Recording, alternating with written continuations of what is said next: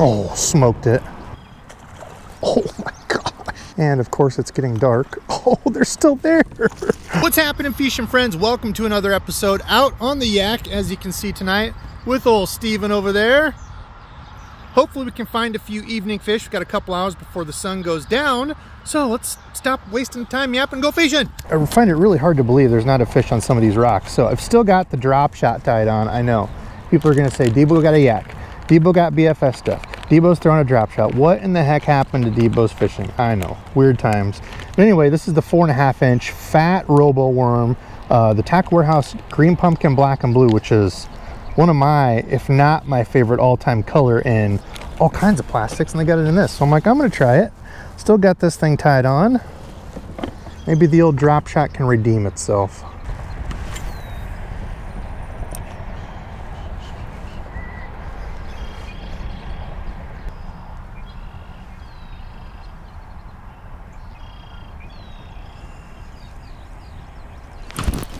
There's one. Oh my gosh. I didn't think it felt like a very big hit. I felt something running. Okay, well, there you go. Debo's Dinkathon begins. Don't forget to tip your waitress after a night like this. He's barely bigger than my drop shot, my guy.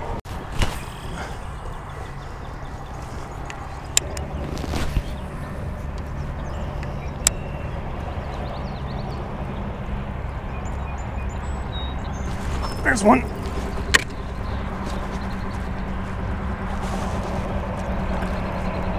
Surprise me. All right, copperhead. Little chattering bug action. There's some water or something running in over here. He's a chunky little dude. Pound and a quarter. All right, thank you, sir. Some sort of water or something running in over here. I don't know if it's like a drain pipe. I don't see it. You can hear it though. Anytime you have drain pipes and running water, that's usually a good sign for fish to be around it somewhere. Oh, is that a carp? Looked like a carp out in front of me.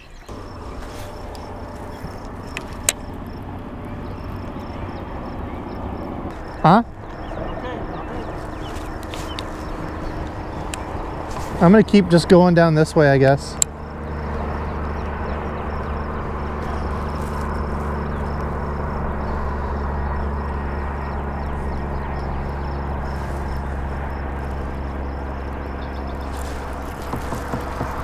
How many times did we come over that? Multiple times with the Hellraiser. I threw around that with a Texas rig. I'm like, dude, there's got to be a fish up in here somewhere. Wood, find wood, find beaver dam. Another chunky pound and a quarter dude. Thank you, sir.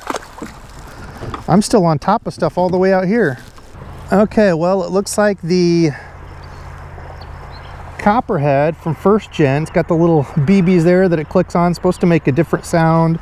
More of a shallow runner though, which is perfect here because I'm sitting in like anywhere from four to eight feet of water out here, six feet right here just kind of casting up shallow in this little flat and there's grass and wood and stuff kind of mixed around with it so. It's working for here. Well.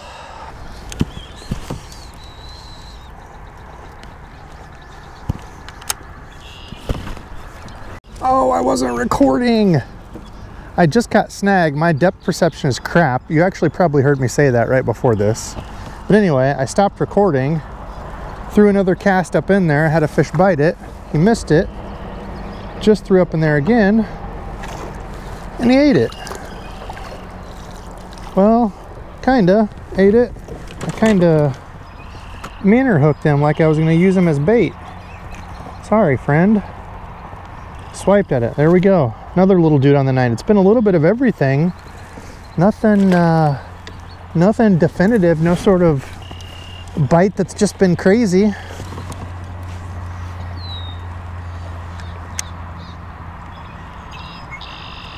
Oh gosh, another one. Yes. There's like a little divot over here of, oh boy, there's all kinds of stuff up here blowing up. Oh my goodness. Oh, he's a little better than I thought. I thought he was a tiny dude. All right, there we go. One on the popper. Dude, you were fine until you lodged that all up in there. All right, there we go. Well, pound and a half over there. Eating little fish over here, whatever this. There's some runoff and like a little divot over here in the water and they are up shallow pushing them. Go come back for it.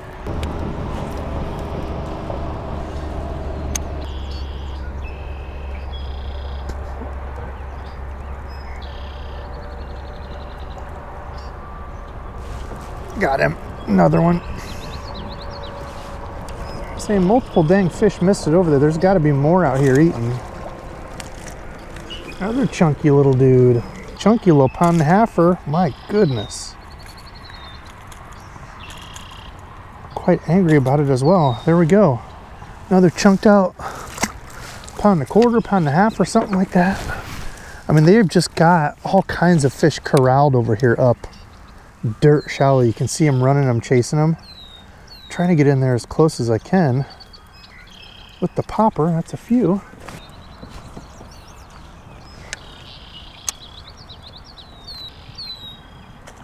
Oh my gosh, that dude missed it. They're out just a little bit farther. How did you miss it, feller?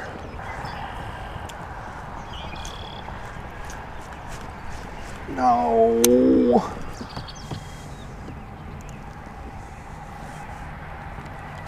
Right here by my bait. What? Of course, just as I was getting bites, I can barely see where the heck I'm casting. I don't have my glasses. And of course it's getting dark. Oh, they're still there. Oh my gosh. Still there, huh, feller? Look, yeah, see, I hooked you and wacky rigged you.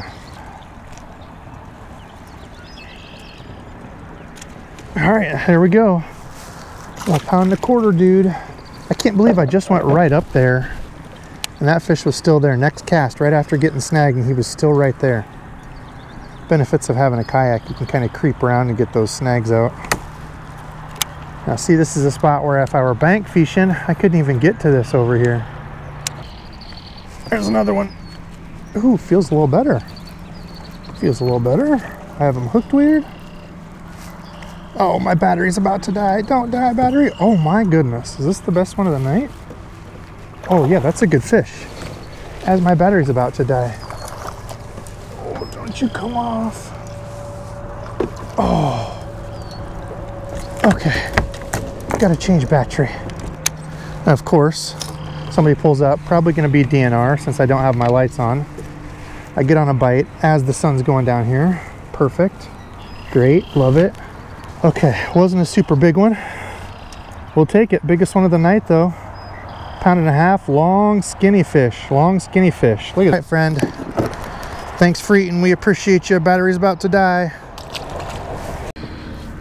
All right, I know y'all can probably not see any of this, but since we have fish over here still biting, I'm gonna make a couple more casts. I'm gonna have to get off. Luckily, that was not the the DNR come to arrest me just some dude checking to see if we were out catching fish, I guess.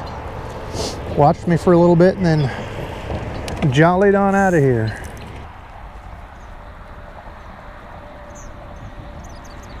There's another one. Walking the popper. Walking the popper.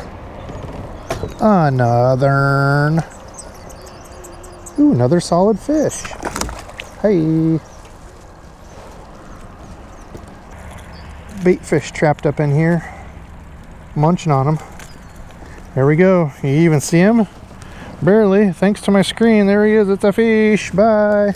All right, fishing friends, that was the end of the night. I did stay for a little bit, little bit longer. Uh, I didn't even have my lights on me, so I know shame on me. Uh, when you're operating after dark, you're supposed to have lights, but Steven and I were the only two there. You know, it's for safety in case anybody's there.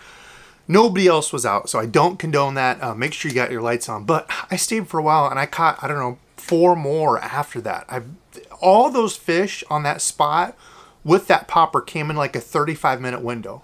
all those. It was an insane feeding frenzy. And what I was trying to point out earlier is two things. Number one, a lot of people see carp jumping. I put that carp jump in there because people say, oh, I saw bass jumping. You know, there's a whole bunch of jumping stuff. Usually when bass are chasing bait, it doesn't look like that. It's not a big fish that comes out and flops. You'll see like little minnows darting. You'll see like kind of things hitting and then like splooshes.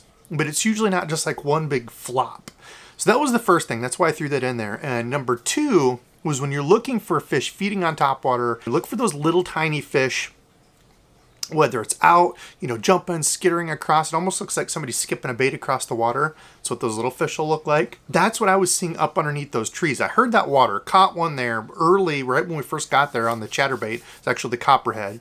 Uh, from first gen decided to move around cover water thinking you know maybe there's more here i can find something whatever the deal was uh, and that didn't pan out until later in the night and that was absolute awesome that i got on that because they were fired up they were there there's like a, a, water runoff there and it cut it creates like a, a, divot where that water was running out so it creates like a little makeshift like river uh, or creek channel I don't know if the fish were in that or if they were just kind of cruising and like the little fish were in there eating, you know, the little plankton and algae and stuff, you know, all that stuff that comes out of there from runoff.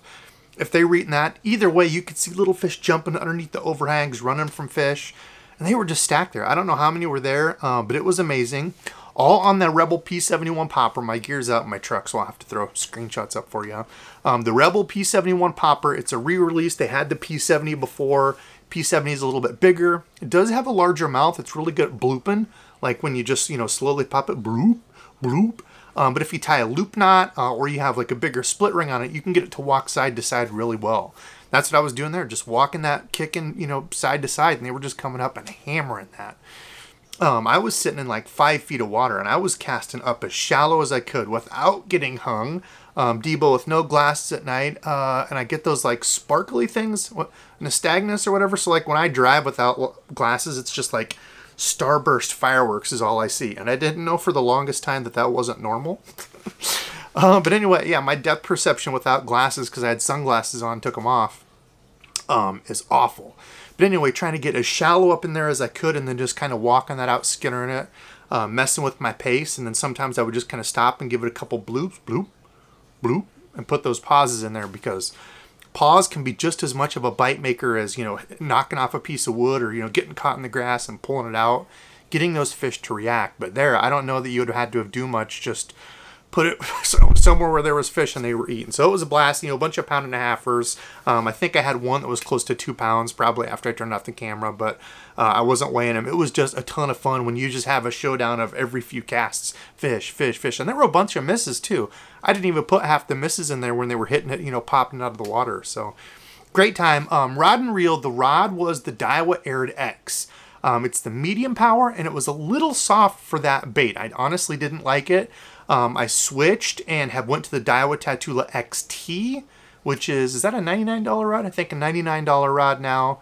Um, the medium, I'll put the specs and everything below, but that feels a ton better. Um, I've been throwing like a plopper on that, actually. The new uh, Heddon spinning image, if you watch my last unboxing, kind of their version uh, of a whopper plopper, but throwing it on that, and I like that a lot better. Um, the reel is the Daiwa Tatula CT with 14 pound Trilene XL in the red box. Still my favorite mono of all time. Um, that's the combo. So nothing super crazy. Just look for those little things. You know, I was listening, I could hear the water in there, and I should have stuck to it earlier in the night because I probably would have caught a lot more there. We could have just camped that, you know, the whole night. Two, two and a half hours, you know, worth of fishing, and then 30 minutes of that was the, the bombardment at the end of just fish. So listen, uh, today's subscribe fish and friend, my guy Mike Vogel. This is why I call you all fish and friends, not just subscribers. You're not a number. Uh, Mike was nice enough to, he went to Bass Pro Shop, saw this shirt and was like, Debo, I know a guy that really likes uh, Mr. Dance. He purchased it and sent it to me. I have the awesomest crew of fish and friends. I very rarely get negative hate and comments. Um, people taking care of me, uh, you know, thanking me for the time I put in, checking in on me on stuff, storms. Um, I am blessed to have you all as as my followers. So I appreciate the heck out all you fishing friends, not just Mike, but everybody out there. I try to say it at the end of every video because again, I would be nothing without all of you out there watching. So that's enough for me. Gotta edit. Love you. Thanks for watching. Till next time.